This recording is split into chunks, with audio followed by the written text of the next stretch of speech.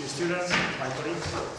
Uh, a very long time ago, I spent about three fulfilling years at the Cambridge University Engineering Department. While working there, I had learned that some of the best researchers in the area of machine learning are working in the machine learning lab in Cambridge. Uh, I would like to welcome Jose Hernandez Lobato and Sarah Wade, who are working actually in the machine learning lab. Both Sarah and Jose are research associates in the lab, and their research interests lie in the area of Bayesian inference, approximate and sparse Bayesian methods, and non-parametric modeling. Our guest kindly agreed to give us a series of lectures uh, introducing basics of modern Bayesian methods, including variation inference, expectation propagation algorithm, Gaussian and Dirichlet processes. Please welcome our guest. Thank you. Well, can I have a few more words? Uh, the schedule of this lecture is that we will start each day at 9 a.m. here in this lecture room, and we will have eight lectures in total, and four lectures each week, and we start from Monday to Thursday, and the next week from Monday to Thursday. And if you would like to meet our guests for informal talks, then please let me know or directly contact me. Thank you. Okay. So, um, this is going to be the first uh, lecture of this uh, course modern uh, Bayesian uh, machine learning techniques. And in this lecture, I'm going to give an introduction to Bayesian machine learning. We'll see first that machine learning is just identifying patterns in data and then using those patterns to make predictions. And Bayesian machine learning does this just by making use of probability distributions. Uh, we will use uh, these probability distributions to describe data and then uh, use uh, them to make uh, these predictions. The problem is that working with arbitrarily, arbitrary probability distributions is in general intractable and we have to focus on a reduced set of probability distributions for which computational uh, efficient algorithms are available. And the framework of probabilistic graphical models will allow us to, to work with such uh, uh, structured and uh, probability distributions. So let's start uh, with a definition of uh, machine learning. Machine learning can be understood as just uh, the design of computational systems that uh, can uh, discover patterns in a collection of data instances in an automated manner. By automated manner, it means that basically we just feed the data to a machine learning algorithm and it will identify the patterns present in that data without uh, us having to specify the form of those patterns. And the ultimate goal in machine learning is uh, to make uh, predictions on new data instances using uh, those patterns. This is illustrated by this example. We have a collection of data instances. In this case, the data instances are images of handwritten digits which have been uh, split into different uh, sets. We have a first uh, set in which uh, we have for each uh, image an associated uh, label that uh, tell us the digit which is uh, contained in the image. This set is usually called the training set and it will be used uh, to, by our machine learning algorithm to identify these uh, patterns present in the data. We also have an additional set of data instances which are different from the ones uh, found in the training set for which we don't have these uh, labels. This uh, set is uh, usually called the test set and uh, the objective in machine learning is to use uh, a machine learning algorithm to identify patterns in the training set and then use those patterns to make predictions for uh, the data instances in the test uh, set. The patterns should be identified uh, automatically and we shouldn't have to specify the machine learning algorithm the form of uh, the patterns directly. For example, in this case, uh, we see that uh, all the data instances that have the same uh, label, uh, zero, have uh, similar patterns. We see that these data instances they are formed by a cluster of uh, white pixels in the center of the image. Then we have a ring of black pixels around that cluster, and then we have white pixels outside the, the black ring. That pattern can be used to make predictions in the test set. We can look for instances in the test set that uh, satisfy that pattern, and then we could uh, make predictions saying that uh, uh the corresponding label for those instances is just a, a zero.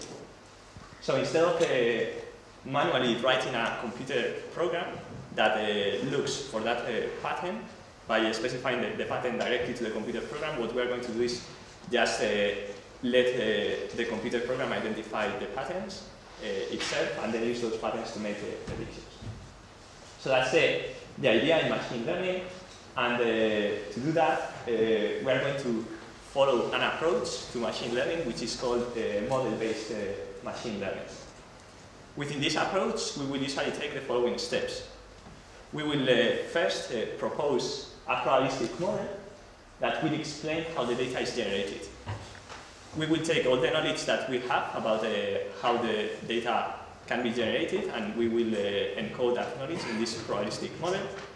And then we will use an inference algorithm to combine that model with some uh, data in order to make uh, predictions.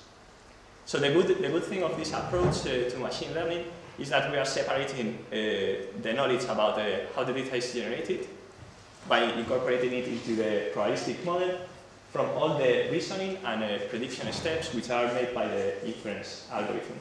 This is very useful because uh, we can uh, design machine learning solutions to different uh, problems just by specifying a particular probabilistic model that captures all the specific properties of the problem.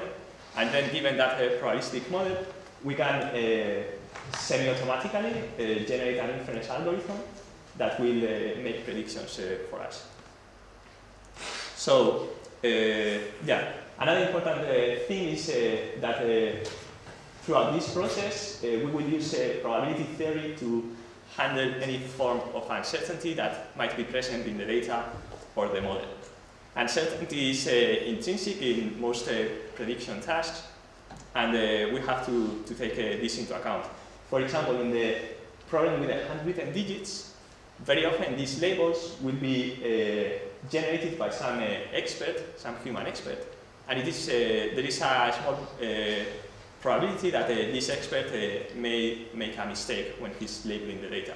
So if we want to make optimal predictions in the test set, we have to take into account that there is a small possibility that some of the labels will be wrong, and uh, to do that, uh, we can use uh, probability theory to, to, to handle this possibility. Probability uh, eh, uncertainty can also be present in the model. The th reason for this is that the probabilistic model will uh, explain how the data is generated, but uh, to do this, there is a, also the possibility that the probabilistic model will make use of some latent variables, some latent parameters that are used to explain how the data is generated, but we don't know the value of those parameters that we are used to, to generate the data. So we will uh, use probability theory to uh, represent uh, our uncertainty on the, on the value of those parameters and to handle that uncertainty in a principled way. Finally, we can also use probability theory to, instead of making a, deterministic prediction, just making a prediction uh, for a single outcome, what we can do is, instead of uh, doing that, we can consider all the possible uh, predictions and the weight needs uh, one by its uh, corresponding uh, probability. So uh, we will be using probability theory throughout uh, all this course. And uh, the good news is that to work with probabilities, we will only have to use two rules, the sum rule and the product rule. The sum rule basically tells us that the marginal distribution of a random variable is obtained uh, just by summing out or integrating out all the other uh, variables from the joint distribution. So in this case, we have a joint distribution for uh, x and y, and if we want uh, the marginal distribution of x, we only have to integrate out y, in the case that y is a continuous variable. If y was a discrete variable, this integral would be replaced by a sum. So this is the sum rule, And we also have the, the product rule. The product rule tells us that uh, the joint distribution of uh, uh, two random variables is just can be decomposed as the product of a, the conditional distribution of one of the random variables given the other times the marginal distribution of the other random variable. And we can do this decomposition in terms of y or x. These two rules uh, can also be combined to obtain a, another rule, which is derived uh, from the sum and the product rule. It is a Bayes rule. Basically, we only have to multiply and divide by uh, p of x. Uh, in this case, we divide, uh, sorry, we have to divide by p of x in this uh, expression, in these two expressions, and we get the conditional distribution of y given x is just uh, the conditional distribution of x given y times its marginal divided by the marginal x, which can be expressed as using the sum rule uh, as this uh, integral over the joint. Throughout this course, we will be using consistently Bayes rule uh, to compute these uh, predictions. And two other important concepts that we will be using are the concepts of independence and conditional independence. Two random variables are said to be independent if the joint distribution is just uh, equal to the product of the marginals. This uh, basically tells us that if I fix one of the two random variables, if I fix uh, y, then the conditional distribution of x is just uh, its marginal. So this, you can see this from the product rule. Basically, this is uh, saying that uh, the marginal distribution, the conditional distribution of x is just the marginal. And the same for y. The conditional distribution of y is just uh, its marginal. We have a similar concept, which is that of uh, conditional independence. Two random variables are said to be conditionally independent, given another random variable uh, set, if we have the same thing, but only for the conditional distributions. We have that the joint conditional distribution of these two random variables factorizes as the product of the uh, marginal conditional uh, distributions. These two concepts, uh, independence and conditional independence, are going to be very important. The reason is that uh, we are expressing the joint distribution, which is, a, in this case, a, a, function of two random variables. We are expressing it as a product of the simpler distributions. We have these two other factors that are uh, one-dimensional distributions. Throughout this course, we will be working with uh, probability distributions that uh, will factorize according to this uh, form. In those distributions, there are going to be a lot of uh, conditional independencies among the random variables, and we will be able to express the joint uh, distribution in terms of a product of uh, simpler factors, just because these expressions will be satisfied for, for those distributions.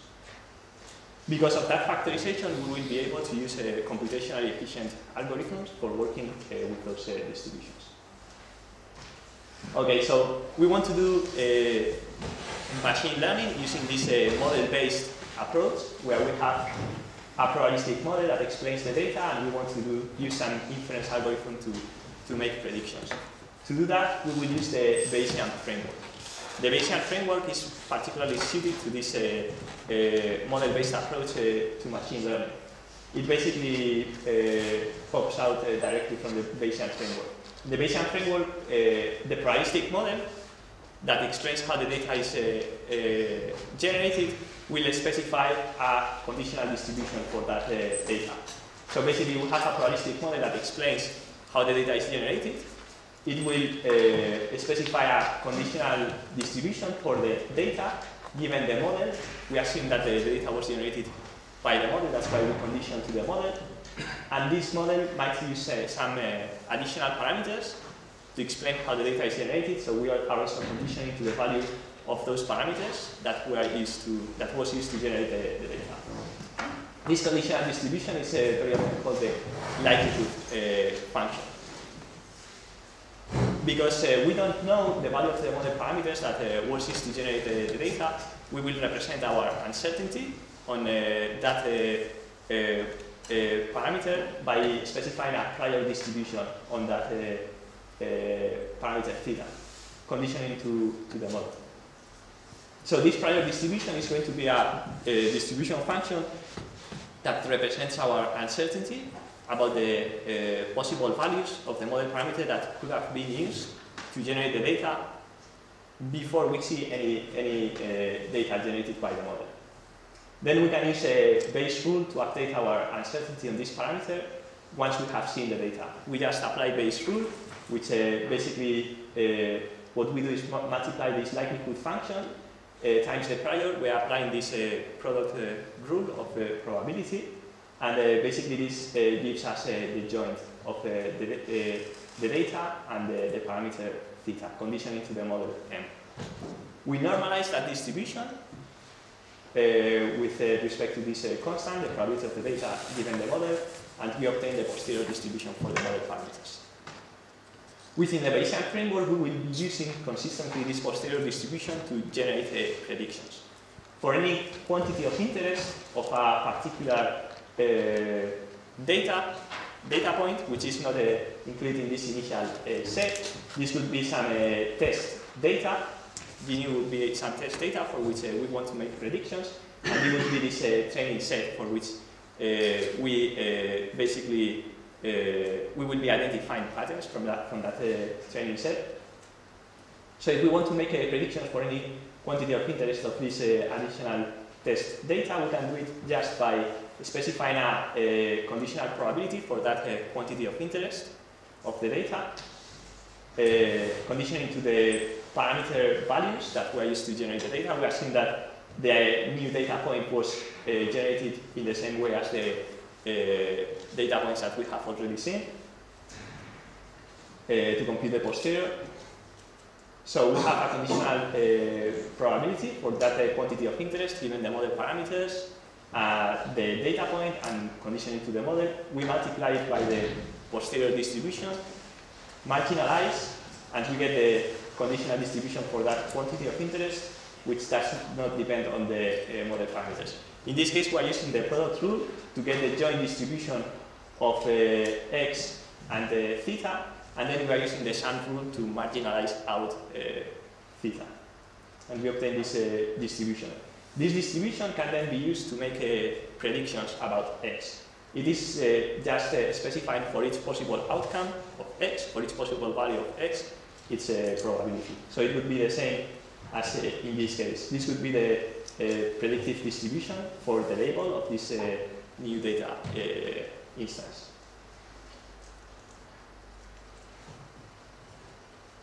Okay, one of the main advantages of uh, this uh, Bayesian approach to machine learning is that uh, it uh, automatically includes a preference for simple models.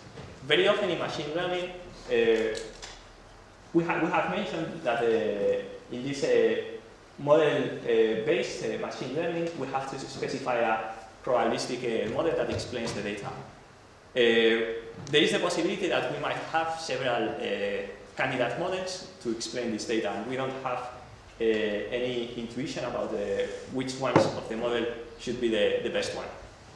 The Bayesian framework uh, allows us to uh, perform a, a, comparison of these models in a way that uh, we automatically include a preference for simpler uh, models. And uh, this is going to be very useful to avoid the problems that often occur in machine learning, which are called the overfitting, where we identify patterns in the training set that uh, are not uh, uh, uh, present in the test set.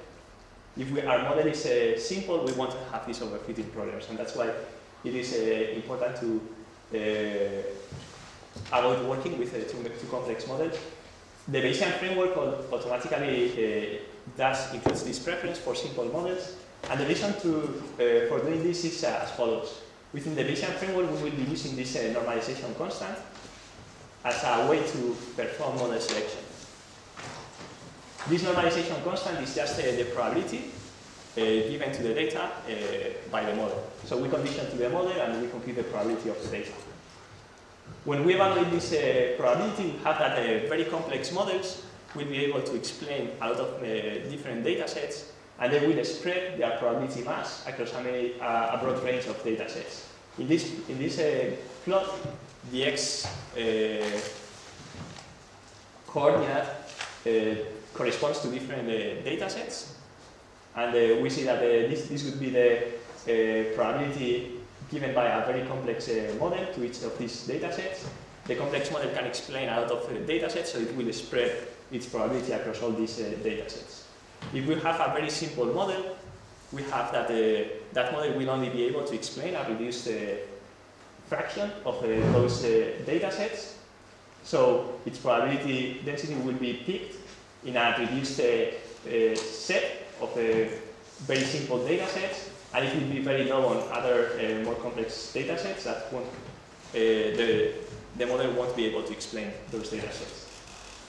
The thing is that these, uh, these curves, they have to integrate uh, one. That's why uh, if, it is, if the probabilistic model describes uh, successfully a lot of uh, different data sets, the curve will take the low values because it has to, to be, Uh, it will be spread across many data sets and it will uh, take uh, low values. So if the model explains very few data sets, the curve will be more peaked. We might also have an intermediate uh, model which is not uh, too complex, not uh, too simple, and it is able to explain some data sets which in a, it, will, it will be able to explain a, a larger fraction of data sets than the simple model, and the corresponding plot for the probability of the data given by that uh, uh, average uh, model will be given by this red curve. So if we have a particular data set, which is this one, and uh, we want to do model selection, we will evaluate these normalization constants for each data set, and we will pick the, the model that maximizes the probability of the data. In this case, we will be picking the uh, intermediate model. We won't be picking the simple model because it's too simple and it is not able to uh, fully capture all the properties in the data. In that case, the probability assigned to the data by that model is uh, very low. We have that the, the model that is too complex uh, gives larger probability values to that uh, data, but the intermediate model gives, gives the, the largest uh, values. So this uh, approach to model comparison, uh, it is uh, finding the optimal uh, balance between uh, how well the model describes the data and uh, the complexity of that model.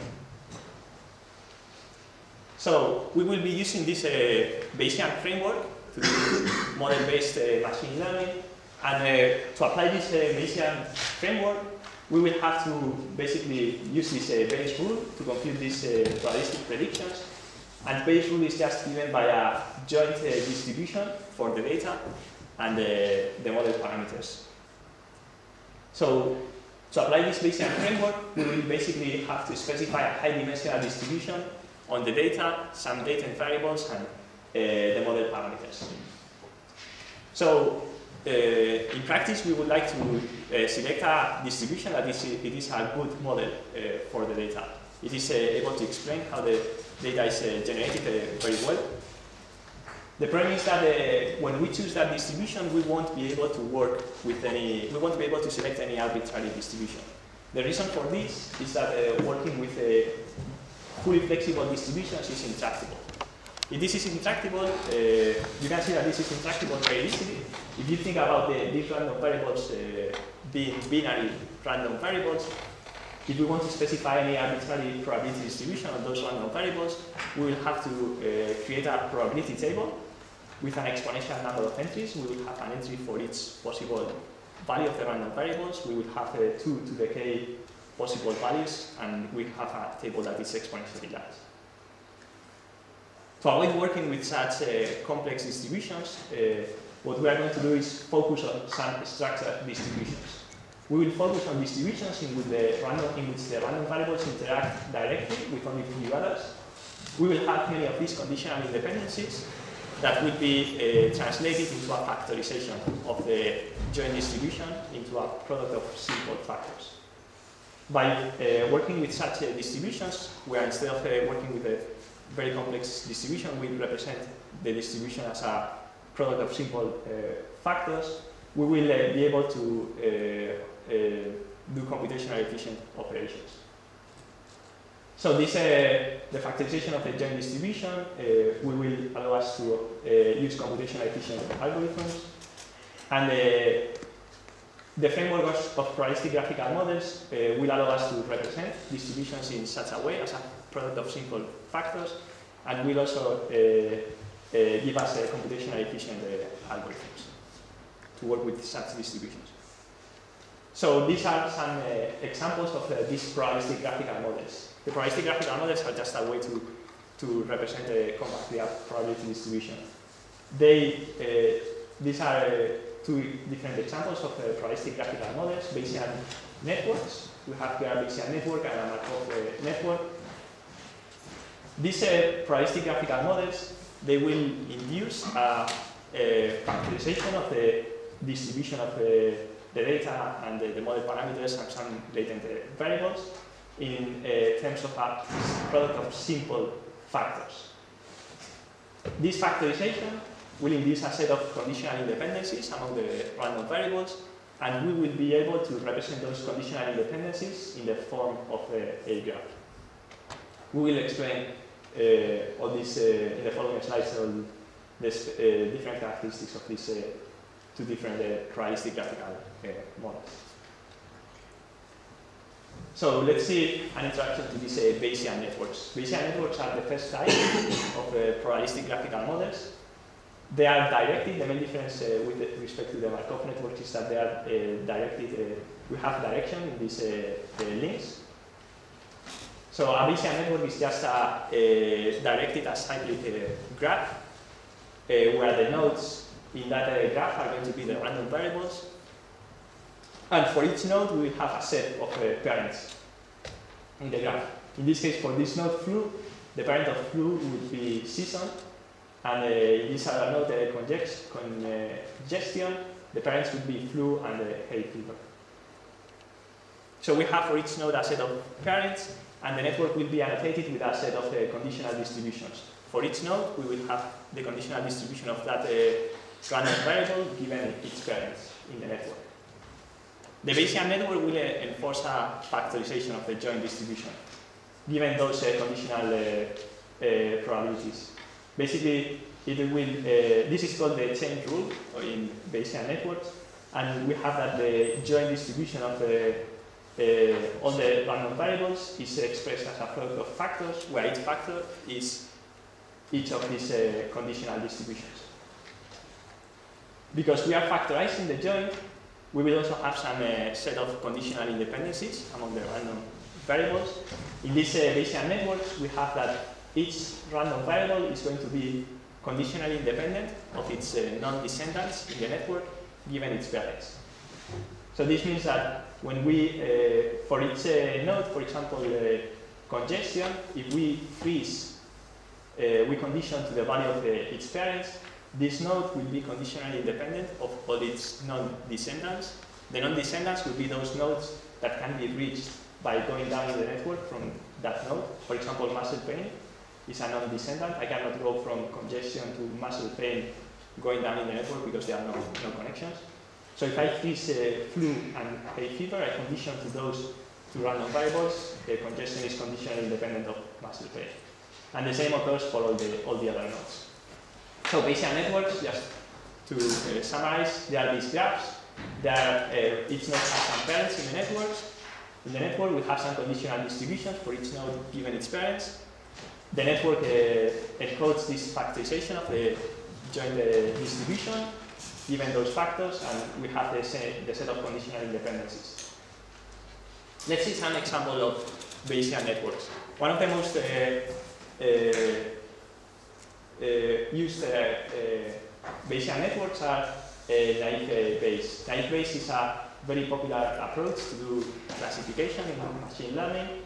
In this case, we have a set of features and uh, some uh, labels. So this could be, uh, for example, the pixels in the handwritten images, and the labels could be the could represent the digit included in those images. So in naive Bayes, uh, we will induce a set of uh, conditional independencies among these random variables. We will basically enforce that the, the observed uh, features, the distribution of these features, is such that uh, these features are conditionally independent given the label. This is represented by this uh, graph. We have uh, edges connecting each uh, its a feature to the label, the corresponding label, and this means that if I uh, freeze this label, if I am conditioning to that uh, label in a Bayesian network, let's forget about these other nodes, but in a Bayesian network, we have that uh, each node is condition independent of the others, given the parents. The parents of all the features is y, so if I fix y, the, uh, these uh, nodes are non-descendants among them, so they all are conditionally independent. In this uh, uh, Bayesian network, I'm also using a, a notation which is called the plate notation. This is used uh, when we uh, write uh, these uh, Bayesian networks. If there are some entries in the uh, graph that are repeated several times, we can use this uh, uh, plate notation with some index that indicates the, the, number of repetitions. So this this means that we would have these nodes repeated from 1 to n in the in the true graph. This represents a compact version of the of the original graph. And in this case, we are also uh, assuming that uh, all the data instances are independently generated. So we have this uh, graphical model where we have also some parameters for the uh, margin, for the prior distribution of the label and uh, for the conditional distribution of the, the features given the label. So this uh, Bayesian network specifies also this factorization for the distribution of the data and the model parameters. Basically, for each node, we have a factor, and it's node is, uh, that factor is the, the, conditional probability of the value of the node given the uh, parents. So for each uh, feature, we have that the parents are the label and this parameter, theta 1. We have the corresponding factor here. And for each uh, label, we have that the parent is uh, theta 2, so we have here the corresponding factor. The nodes uh, theta 1 and theta 2, they don't have any parents, so we just have the distribution in this uh. Another example of Bayesian network is a hidden Markov uh, model. These are very popular models uh, that are used to capture temporal dependence among some set of measurements. In this case, we have that x1 to xt could be measurements for a particular time series. There's some dependency, uh, time dependence among these random variables, and to capture this dependence, uh, we can uh, make use of a hidden process, some latent uh, variables that will follow a first order Markov chain.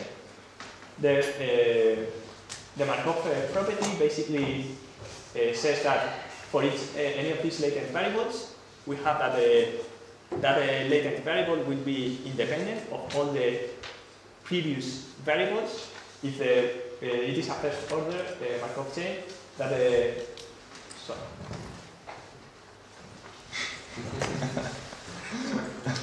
so the, the Markov property basically tells us that uh, for any of these uh, latent variables set, we have that uh, that the latent variable will be conditionally independent of all the previous values of the latent variables, just given the immediate the immediate previous uh, variable. So uh, set 2 or set t would be conditionally independent of all the previous uh, set variables given set uh, t minus 1. This is captured or represented in the Bayesian network by this uh, chain, where we connect all the uh, latent uh, variables with each other in the form of a chain. And another assumption in these uh, Markov models is that uh, the observed uh, variables, x1 to xt, they are conditionally independent among them, given the corresponding latent variable set. So this, we have arrows connecting each value of x with its corresponding uh, latent variable. And if we freeze that uh, latent variable for, its, for this variable, for example, we have that it is condition independent of all the other uh, variables because they are non-descendants of x2. So if I freeze x2, I condition to x or to set 2, uh, x2 is a condition independent of all the other x variables. So in this, I didn't mention it, but in this uh, in this notation, I have these uh, shaded uh, nodes, and that means that the, the nodes that are uh, shaded, they are observed, so I know the value of those unknown variables, and those that are not uh, uh, shaded, uh, they are latent, and I don't know the, the value of those variables. So this would be the corresponding Bayesian network for this Markov model. and it induces again a factorization of the joint distribution of the data and the latent variables according to this uh, expression. For each node, I have a factor here, and uh, each factor is the conditional probability of that node given uh, the parents. And I have some uh, parameters that specify uh, the transition probabilities for the latent uh, state, and also the generation, the probabilities that uh, specify how the, the observed features are generated from the latent variables. So uh, one of the last examples, well, the last example of the Bayesian network is some uh, matrix uh, factorization uh, model. These are very popular models for uh, doing recommendation of uh, products to customers. If you know about this Netflix price contest, which was very popular a few years ago, most of the models used in that context were based on matrix factorization. So in our matrix factorization model, we have some uh, data which are uh, entries of a matrix. And we are seeing that uh, this matrix is uh, generated as a, product of two low-rank uh, matrices, U and V. So basically, X is an n times the matrix, and U and V will be n times k and d times k, where k is very small. So the idea is to represent a very big matrix as the product of two uh, small uh, matrices that have the same number of uh, uh rows as uh, rows and columns in the original matrix, but the number of columns in U and V is going to be uh, very small. In this case, we have that we assume that all the entries in X they are conditionally independent given the value of the uh, of the corresponding rows and uh, in uh, U and V. So the, the entry of X in the ith row and the jth column is obtained just by multiplying the ith row in U and the jth uh, row in the matrix uh, V. So given the value of those rows, we assume that all the entries in X are conditionally independent and uh, we are using again this uh, plate notation to expand this across uh, rows and columns. And we have some parameters that specify the conditional distribution of the x given u and v. And we have some parameters that specify the prior distribution of the u and v.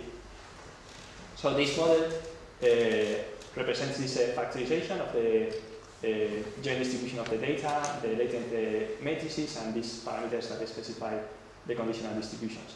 And the whole thing factorizes as, as this. We have a factor for each node, conditioning, uh, conditioning to its uh, parents.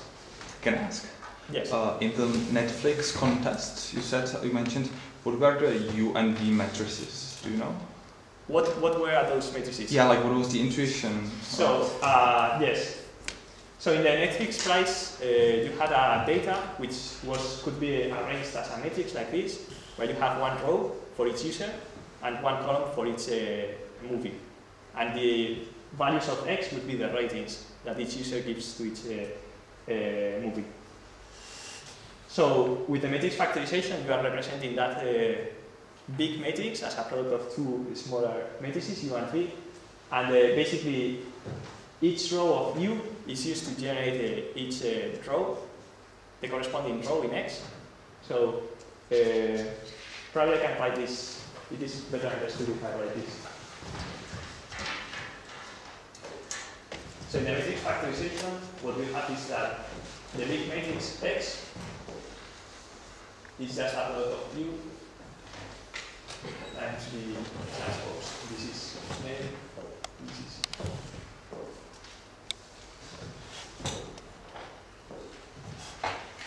So we have we have this uh, factorization of the, of the matrix, and each uh, row in X is given by the product of the corresponding row in U times uh, V.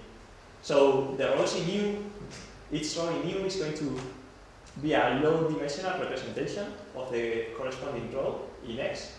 Mm -hmm. So each row in X is the ratings that a user gave, and uh, this means that uh, each row in U it encodes a low dimensional repre representation of the user. Of that user. And the same occurs for V. Each row in V is a low dimensional representation of a particular movie that summarizes the, the ratings that people give to that, uh, to that movie. Mhm. But thank, thank you. But uh, were there any, uh, you know, is the the k dimensions of each column of the U matrix? Uh, does it mean anything, or was it latent, or? They are, they are, they are latent. They are latent features. So these are this model you don't observe these variables. Mhm. So you will just uh, uh, assume uh, you don't know those variables and just infer them from the data. So given the data, you will find some values for those variables, and they will encode a, a low dimensional representation.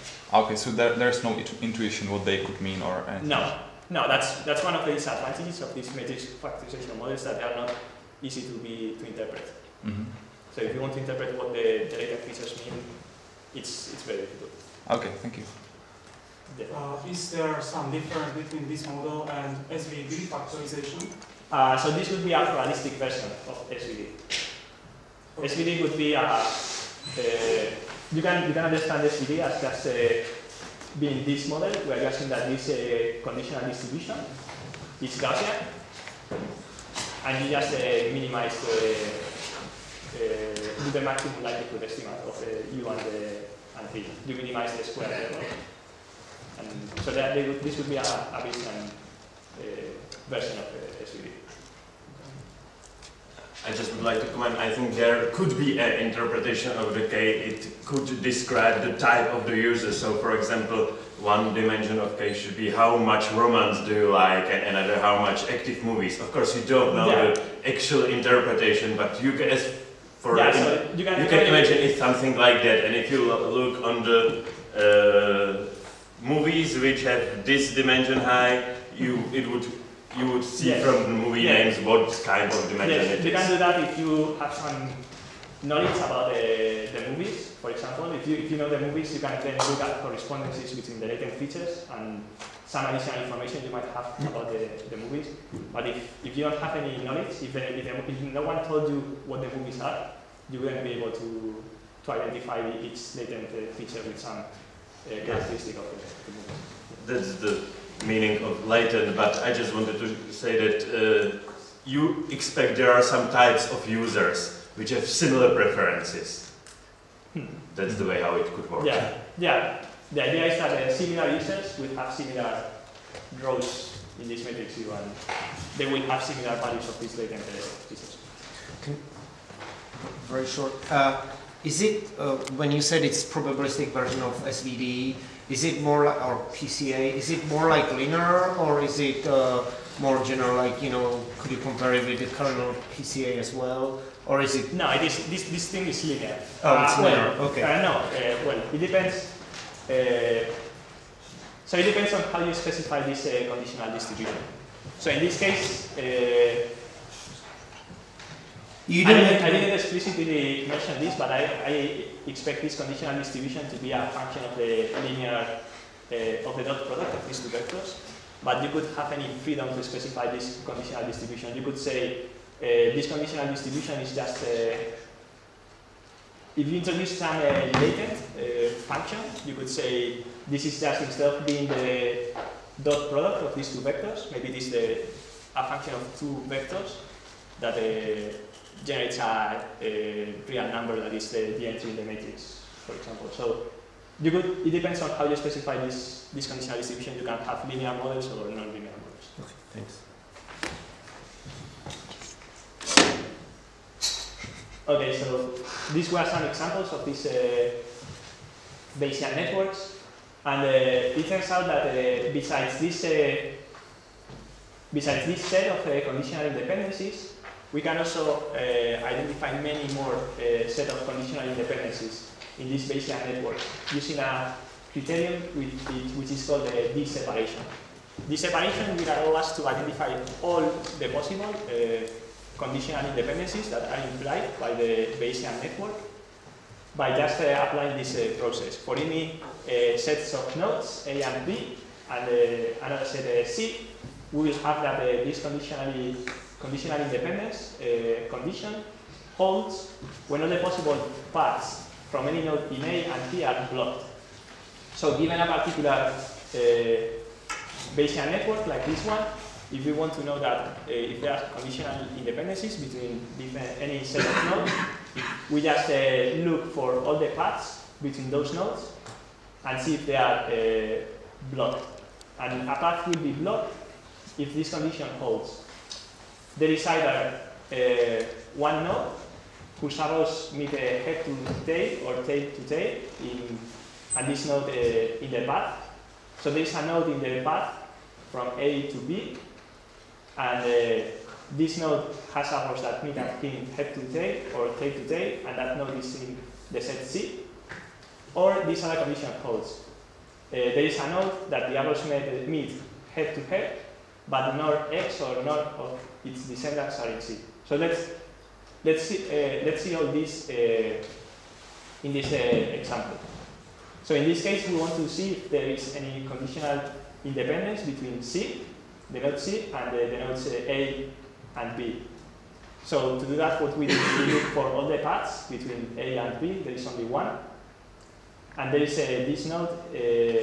This node is uh, the arrows meet head tail to tail, uh, and this node is not a C, so that's not that's not doesn't hold. We also have this other node uh, E.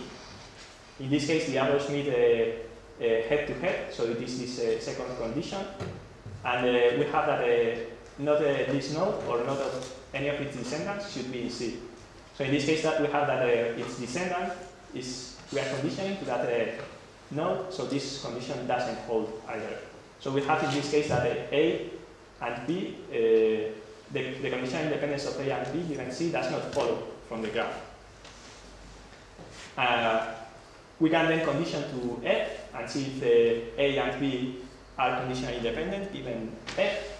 And in this case, we have that uh, this node uh, in the path from A to B, we have that uh, in this case the arrows meet uh, head to head, and then uh, neither X or nor of its uh, descendants should be in uh, C. So in this case, holds.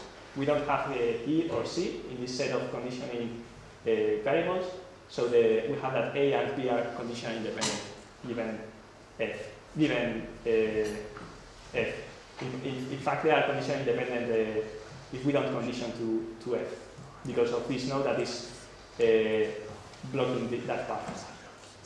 So this is a this is not very intuitive. Basically, a node will be uh, blocking the path as long as uh, we don't have this uh, V form, the two the two arrows uh, in the path uh, meet at that node uh, in a head-to-head way, and that node is not in, in the conditioning set. In that case, we have that the path will be blocked. And the, if the arrows meet in a different way, they, and the node is observed, the path will be blocked. So with this separation, we can extract all the sets of conditional independencies implied by the network. And it turns out that uh, all these things uh, are the same. The factorization implied by the uh, Bayesian network as a product of its, the conditional distribution of its node given its parents. The set of the original conditional independencies that each node is conditionally independent of its non-descendants given its parents and the uh, conditional independencies implied by this separation. It that all these uh, conditions are the same and each one implies uh, all the others. So just some, uh, yeah, some definition of the Markov blanket in a Markov uh, in a Bayesian network. It's just a set of nodes that uh, when we condition to those nodes, for, for any node, the Markov blanket is the set of nodes such that when we condition to, that, to those nodes, the node is isolated from the rest of the network and it will be conditionally independent of all the other nodes. The Markov network for a particular node in a Bayesian network is just the set of parents, children, and co-parents of X. We have the co-parents are the parents of the children of X, and we have to condition to that uh, to that, uh, to that, to those uh, to satisfy the, the conditional, uh, the set of conditional independencies. yeah, I won't give more details on Bayesian networks. Just let's have a look at the, the other type of uh, probabilistic graphical models, which are the, the Markov networks. We saw that there are two, two types of uh, graphical models, Bayesian networks and the Markov networks. And the main difference is that in this case the Markov network is not directed. We don't have directions in the, in the links connecting the, the nodes. Uh, so the Markov network is just, uh, it is an undirected graph, where again the nodes are the random variables, and it will be annotated with some uh, potential functions. In the same way that uh, for the Bayesian network we have the set of conditional independent, the conditional distributions for each node given its parents, in this case we are going to have some potential functions that are going to be evaluated on sets of variables, uh, each one forming a maximal clique. I will de describe what a maximal clique is in a few in the next slide. So we have these uh, uh, potential functions, and the network will uh, induce the factorization of the joint as a product of the potential functions. So in, in the same way that we had the conditional the, uh, distributions in the Bayesian network, and the joint was expressed as a product of these conditional distributions, we have that the in the uh, in the Markov networks, we have that the potential functions and the joint is expressed as a product of these uh, potential functions. Again, because of this factorization, we have a set of uh, conditional independencies. Basically, uh, two sets of nodes, uh, A and B, will be conditionally independent given another set uh, C, if C uh, separates the two sets of nodes in the graph. So if C blocks all the paths in the graph between A and B, A and B will be conditionally independent given uh, C. So in this, in this model, we have that uh, A and uh, C are, all the paths between A and C are blocked by B and D. So A is conditionally independent of C given D and B. So this is the, one of the conditional independencies. And then also have that all the paths from D uh, to B are blocked by the two nodes A and C. So we have that, these other conditional independence. And let's have a look at the, uh, the potentials. The potentials are just uh, functions on the maximal cliques of the graph. A clique is going to be a, a set of uh, fully connected uh, uh, nodes, a, nodes that, a set of nodes such, such that we have connections from all, the, um, all these nodes. And a maximal clique is just a clique which cannot include any more nodes uh, without it uh, ceasing to be a clique. So let's, let's have a look at this example. Uh, in this case, we have this undirected model. We have that uh, x1 and x2, they form a clique.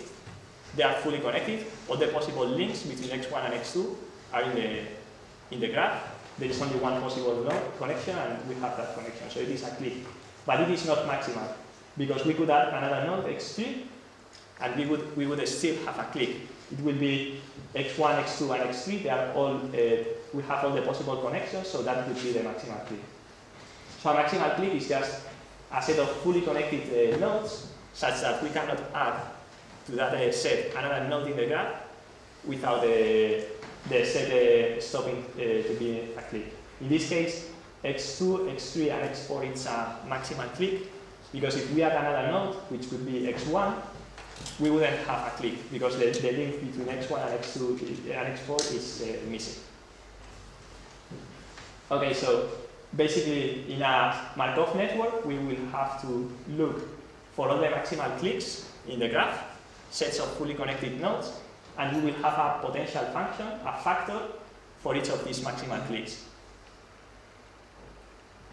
So in this network, uh, we have to find the maximal, uh, uh, maximally connected uh, maximal cliques in the in the network, and uh, the maximal cliques are just uh, the sets of uh, the pairs of the two nodes A and the D. It is a clique and it is maximal. I cannot add any other node without this thing stopping being a clique. Then we have BC and the BC. So we have a potential function for each of these uh, cliques. We have a total of uh, four uh, maximal cliques in this graph, and we have a factor in the factorization in the in the factorization of the joint for each of these fields. I have a question. Yes. Because in general graphs, the maximum clique problem is independent. So, so uh, in a Markov graphs, do you have any assumption which are used to the complexity? So-? Yeah, uh, the thing is because of the form of these graphs, uh, this program is not going to be NP complete. So this, in the general case, it is going to be NP complete, but, be, but these graphs uh, will have a particular structure and it won't be NP complete. And we will have to use, uh, at some point, we will have to find all the maximal cliques in, in these uh, types of graphs and uh, it won't be, uh, uh, we, we will be able to use computational efficient algorithms for, for sorting them. Right.